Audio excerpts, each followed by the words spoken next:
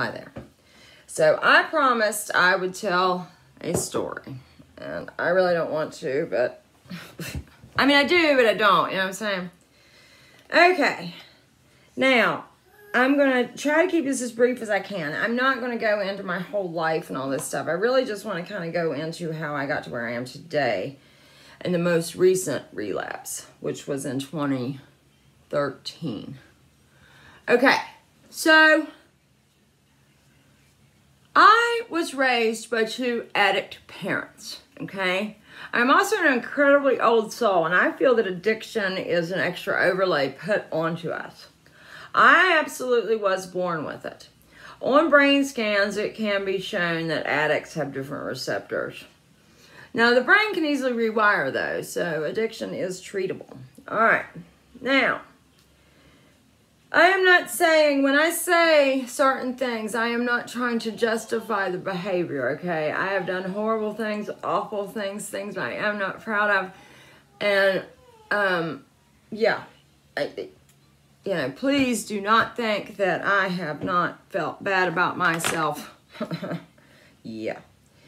Anyhow, so, but it's very important to note that addiction does not have to be substances. My primary problem, the most, the biggest problem I've ever had in this incarnation is actually, or at least time wise, the, the thing that has robbed me of the most time and almost made me flunk out of college was video games. Okay? I'm a gamer. I was when I was growing up. I'm not a gamer so much anymore. I really don't let myself playing very much. I've tried to turn my internet time into, um, you know, research time and stuff like that. And I have to make a very conscious effort to limit my screen time and stuff like that. So I don't have to, but I do. Okay. Now, so I grew up with two addict parents, an alcoholic and a opiate and gambling addict. I was very, very aware of the fact that drugs are bad and we do not want to use them, okay? And I didn't even like drink alcohol and stuff socially. If I ever did anything with anybody, I did sometimes smoke marijuana, but that's it. And I do smoke cigarettes. Okay, now I didn't even drink. Like in college, I've always hated alcohol. Oh, I despise it. Okay. All right. So I ran out. I was dependent totally on financial aid to go to college. And when I was, after I did my first four years, I had changed my major and the first year. And so um, they would not give me financial aid for a fifth year. Okay. So I had to stop going to college after I'd done four years and I came back home. I moved in with my mother at first and then I got a apartment with a college or with a high school friend. And um we uh I started waiting tables. So while I waited tables, one thing that is very popular in the restaurant industry, or at least around here at the time, was cocaine and it did it did improve your performance and stuff like that. Well, so anyways, let's just say 2003. Um, yeah, I almost killed myself on cocaine, and at that time, addicts use for one reason. Okay, well, yeah. The one reason is to escape either physical or emotional pain or feelings that one cannot deal with. It is a lack of coping skills. There sometimes one can be prescribed something or one can experiment as a child like you know take drinking at a party or something and not know that they have the addict mind and that it's going to you know become a problem for them. Now that's also a possibility. It doesn't always but anyways it's typically like yeah it's to run from feelings. Okay and lack of coping skills. So we have to keep that in mind. People don't, and by the time somebody is homeless and living out on the street and has lost everything and all that, I mean, to sit there and say drugs are bad and I'm a mortician and I see addiction every day and if you don't stop doing drugs you'll die. That that is completely unhelpful. That doesn't. Uh, yeah, of course. You know, an addict knows that. And do you think that half them addicts aren't wishing for death? I'm gonna tell you because they are. All right, that is no way to live. It is no way to live, especially as a junkie. Oh my goodness. And had I not experienced what I've experienced, I would not have this empathy, and I am grateful. Okay, so 2003, I almost snort my life away. So I get down to like 90 pounds, all this shit. So I, after about a year of something, I can't, I don't do it anymore. I, I, I mean, something kicks in me and it's like, Ginger, come on. So it's like, I gotta get the fuck out of here. I'm gonna kill myself. So I, I tell my mom, you know, I, you gotta get me a job at your office or something. I'm not, you know, I'm not doing well. And I didn't tell her why. I mean, she just thought it was like mental health and I was working too much there and all that stuff. My mother actually thought I'd never done a drug at all, which became a problem later. So anyways, um, so it's like, okay. So she gets me a job at her office. Well, there I meet my husband. And so he, you know, basically tells me, well, if you ever do drugs again, you know, I'll leave you, blah, blah, blah. Which, you know, that's really supportive and that's great. But at the same time, maybe it's a, you know, it was an ultimatum that probably kept me from maybe doing some other things. I don't know. Because when I was, my dad had real bad fibromyalgia. That's why he ended up, and so did his mother. And that's why he ended up using opiates. And when I was 26 and I woke up one morning and I was in so much pain I couldn't sit up, I knew what I had too. The pain had been getting chronically worse. Um, and the thing with fibromyalgia is your muscles knot up. Like the muscles typically lie flat, but in a person with fibromyalgia, your muscles knot up and spasm all the time and they become a rope like structure. And um, like I have, they're, called trigger points. Muscle knots are called trigger points, and I probably have a million, okay, literally. Every time I go get a massage, within one to two minutes of being massaged, every masseuse says, you have fibromyalgia, don't you? But a doctor, 50% of the medical community still says it's bullshit. Well, I can tell you it's not bullshit. But anyways, so, all right. So, I, yeah, the pain got worse. But, so my husband and I get married in 2004. I have a child in 2005. My grandpa dies. He goes, he lapses into his final coma the day my son is born. Okay. And then my grandmother dies a year later. My maternal grandparents were incredibly close. We were incredibly close. And I freaking started drinking, okay? I'm not even a drinker and did that for about a year. And then in 2007, it was 2007 I started doing it, and then it was like beginning of 2008 or something that I started going to AA. It's like, I can't do this anymore. I've had enough. Okay, now AA is helpful, and it, um, you know, I mean, I would recommend that any addict, anybody that wants recovery, read those books AA and NA, but we must keep in mind that it is a program. It is a mind control program still, and nobody knows better for you than you, okay?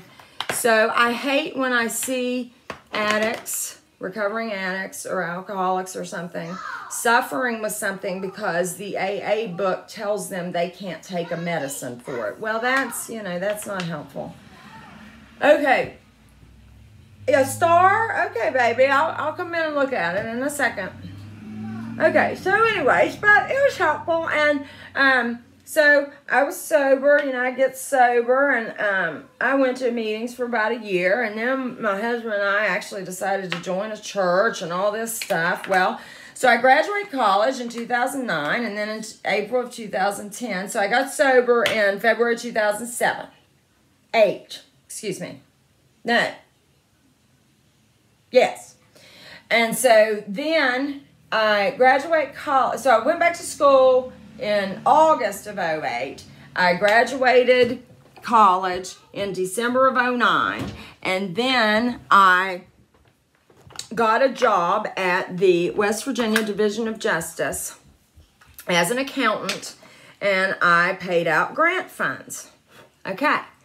So this was a very small agency and it had like 30, 30 to 50 people that worked in it max. And so uh, there were these criminal justice specialists that managed the grant money. Like they would decide what was approved, like what put was put in the budgets and all that stuff.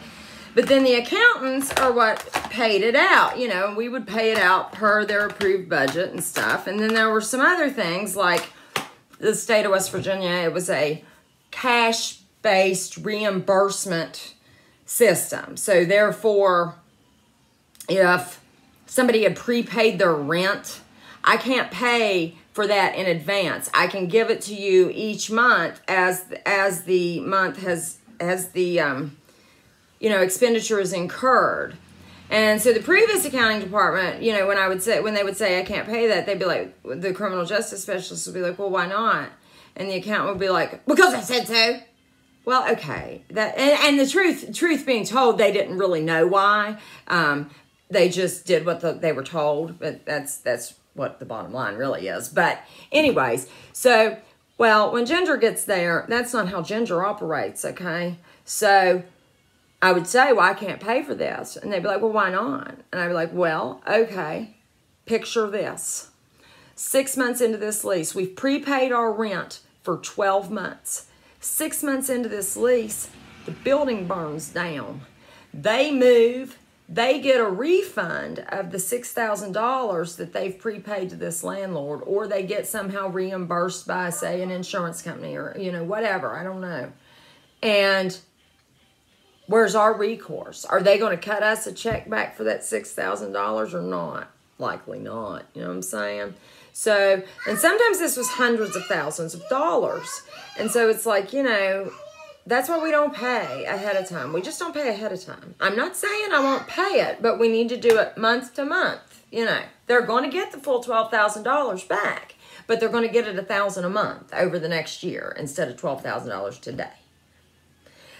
Now, I really, really, really revamped that office. I mean, I'm actually really proud of what I did there. I mean, anybody that worked there, you know, I mean, accounting like just the whole because there was just this animosity between accounting and the and I really smoothed all that over. I was there for almost five years. Well, in this amount of time, one of my criminal justice specialists was named Bonnie. And she had moved here. I'm in West Virginia. She had moved here from Texas. She was like 28 or something when she moved, maybe 25, 26 or so. She turned 30 when we were at this office. So, you know, I don't know. She was in her mid 20s. She had a master's degree and she gets out of college and I don't know, she'd like, she was from Texas and she like worked in a prison or something. And then somehow, so, anyways, people at work would theorize on, you know, people, she was really kind of aggressive and obnoxious and just very much, um, very closed minded uh, very much that you know well this is what i believe and so that's it. Like wouldn't hear your your perspective. And um she's very you know very big into the church which is which is normal you know for people like that to be closed-minded. They but anyways and she's now a youth leader at a church and she also used to have fantasies about teenage boys so i don't know if that's a good idea but not my place. Anyhow so I would hear people talking about her, you know, and of course it was this one guy named Nick that was, you know, always preached to be, oh, the biggest Christian and all this stuff. And he actually, like, I mean, he created a game of let's, you know, it was called Bonnie Bingo, and let's see how many times Bonnie talks about her dad today, stuff like that. Like, and, you know, but I felt bad for her okay? I knew that there was some struggle in her and there was some reason that she and she wasn't the prettiest girl and she had really really big like those real big she needed a breast reduction. Anyway and she had had lymphoma when she was 20 and she you know did chemo the whole bit it's a wonder she's alive and all this stuff people would question whether or not she even had chemo er, because Bonnie ended up kind of being a little bit of a liar and she would embellish things and stuff, but it was a lack of self esteem. Anyways,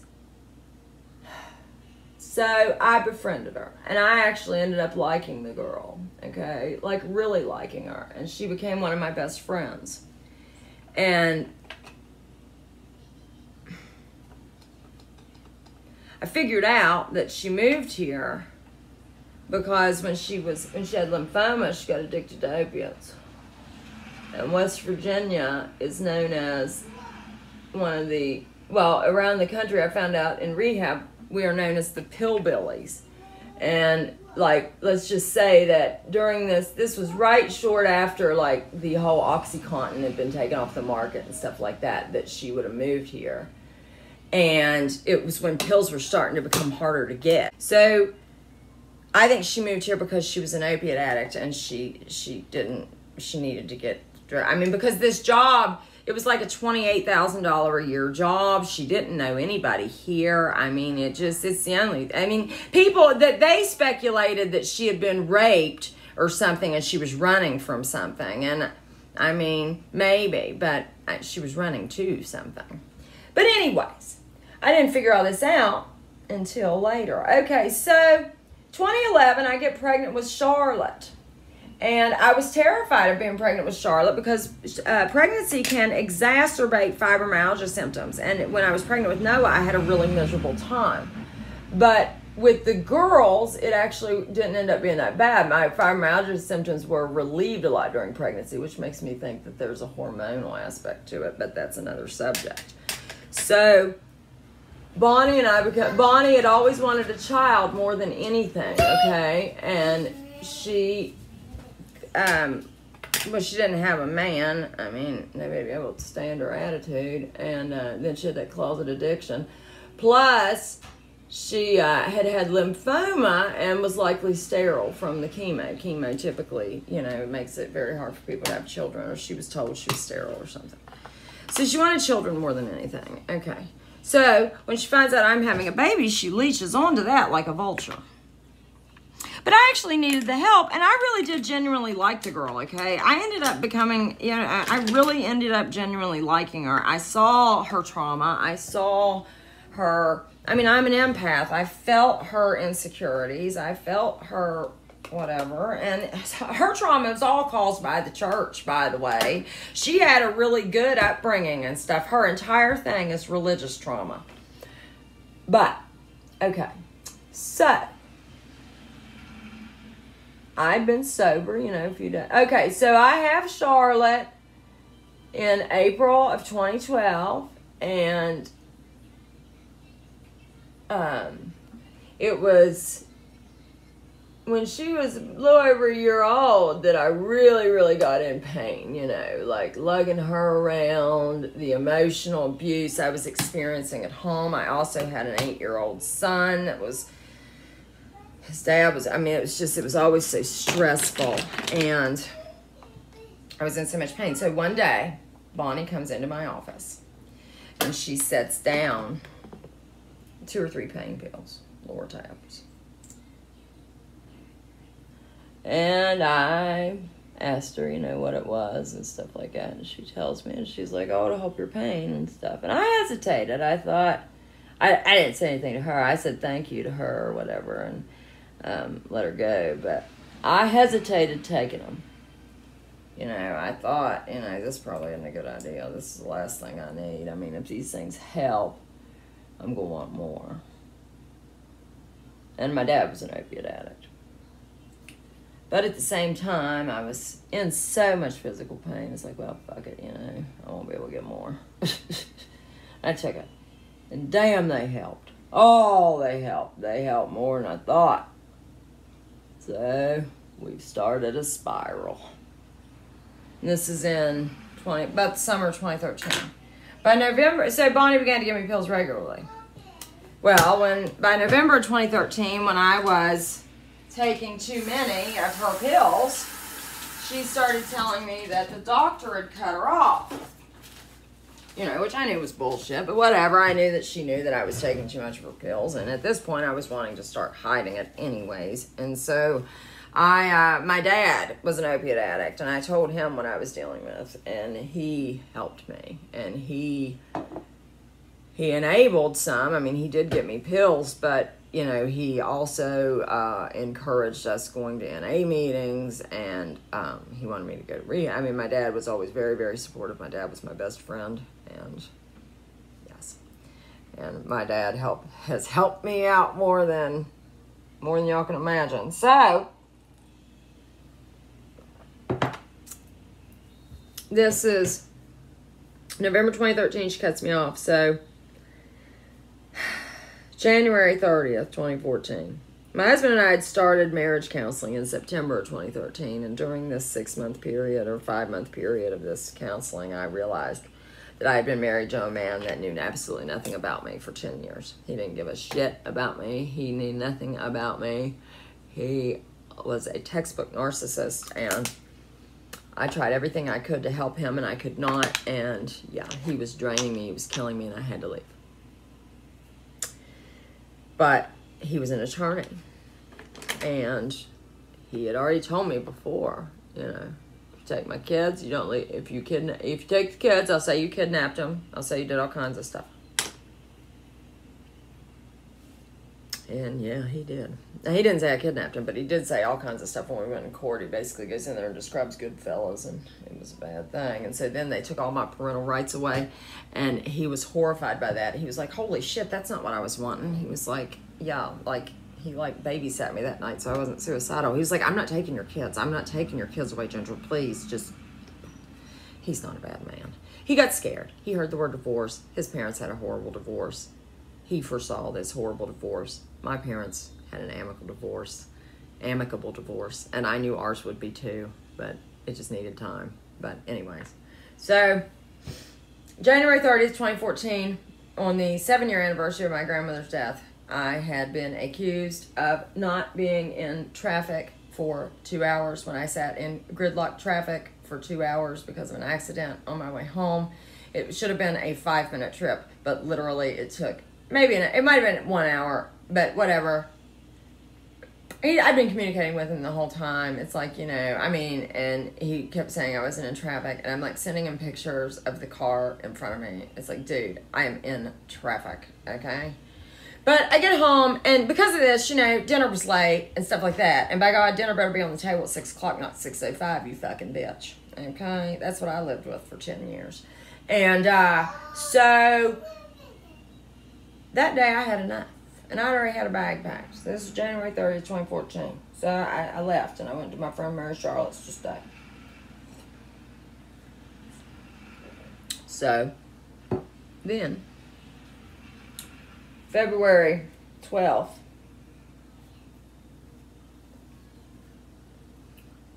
eight, eight or twelve. I don't know. Ended up in a traffic stop, and I had drugs on me, and I assumed that the police were going to find these drugs, and so. Hi, Mama. Hi, baby. And so I began to act crazy because I did not want to detox in jail. I would rather detox in the hospital. It was an ingenious idea. It worked like a charm, too. So they took me to the hospital instead of jail. Well, I had texted my friend that I was staying with, Mary, and told her I'm not going to be there tonight because I've gotten into a traffic situation and well i've gotten into a situation and i'm going to the hospital but i'm okay you know i just you know it'd be nice if you come up here but i'm okay. Yeah. Well she couldn't come up here because she didn't want to wake her daughter up in the middle of the night and stuff but she would have come up there and she would have never done this. We've been friends for 30 years and we don't really talk much anymore and i don't really know what happened there and i might go into that story one day but i mean we're not not friends we just i don't know. But anyways okay so she knows I'm friends with this Bonnie girl at work, right? So she had her number. She happened to have her number because of like I guess Charlotte being born or something. I don't know. So she contacts Bonnie. Bonnie comes to the hospital. Well, at this point, I had been being given like sedatives and stuff, and because these nurses kept saying that because when they when they take you in on a mental thing, they restrain you. Okay, they put your hands and your feet in there, and, and that's cool.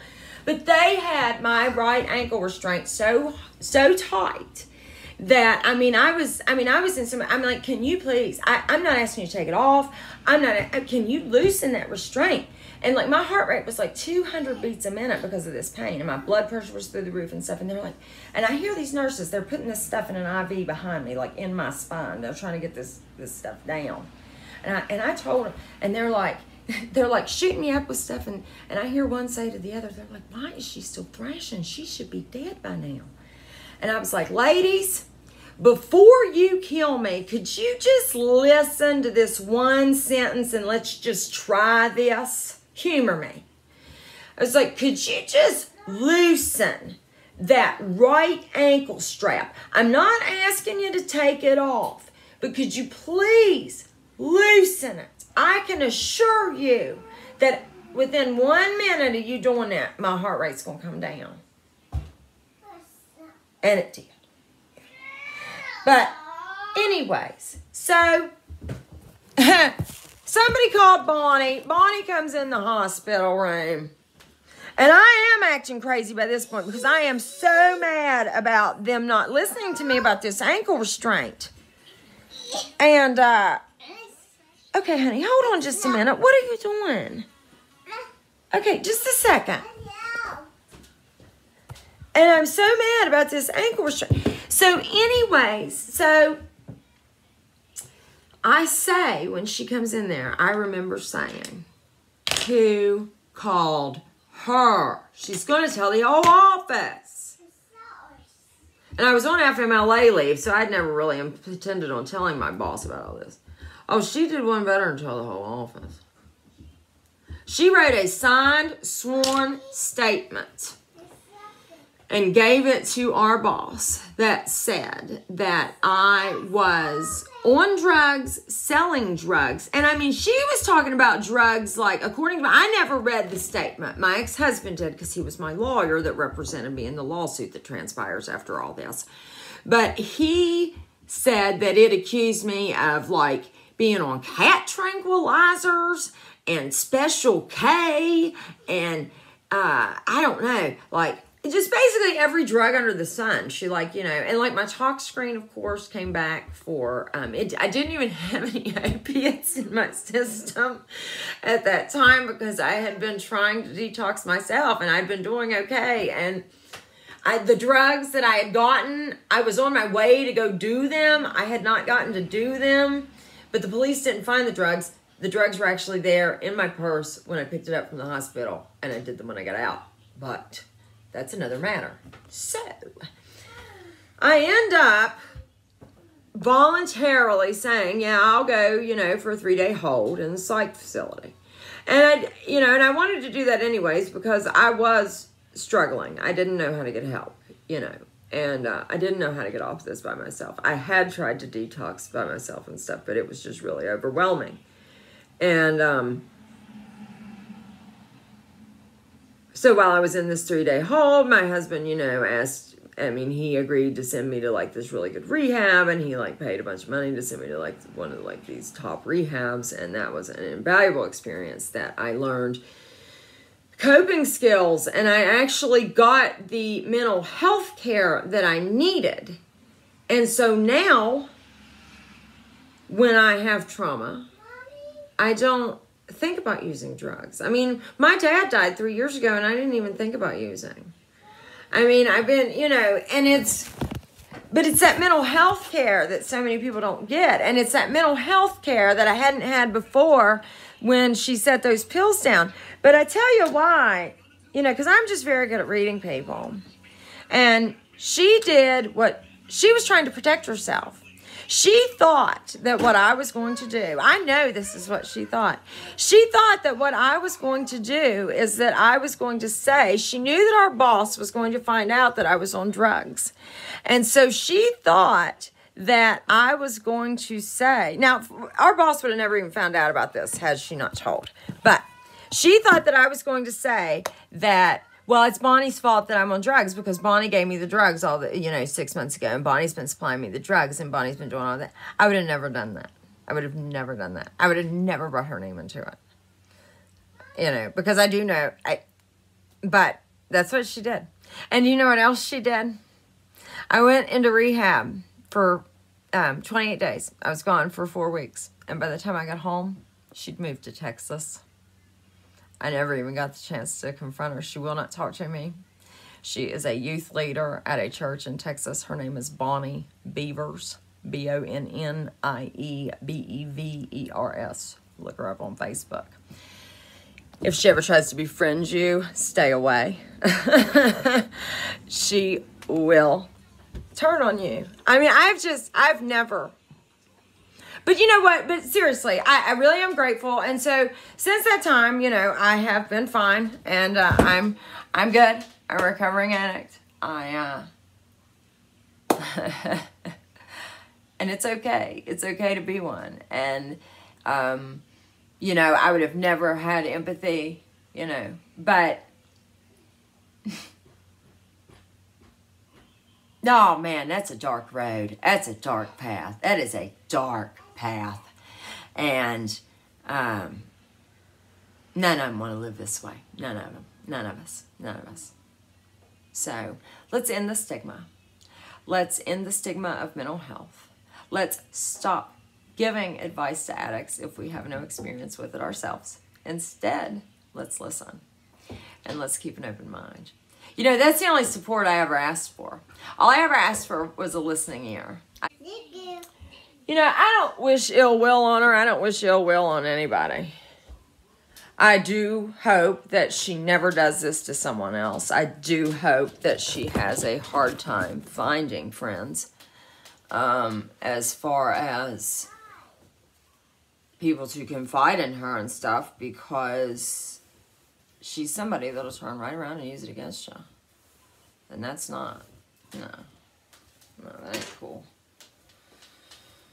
Oh, heck. So, you know, and I've, I've lost, I mean, I, you know, I got to know some really great people over that year than that dark path. Because that, oh, okay, by the way, yeah. So when I get out of rehab in February 2014, uh, that's when we go to court. My husband takes my kids away, gets a six month restraining order on me, and all this stuff and everything. And so that kind of spirals me out of control. And so I didn't, um, I went to rehab. I got home in March of 2014, but I didn't actually get clean until December 26, 2014.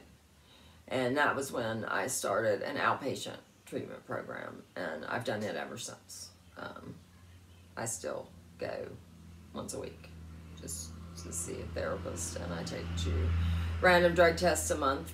But I've rambled on and on. I'm sorry, but yeah, it's just really something how. But I'm grateful. I'm grateful everything happened the way that it did, and that's that.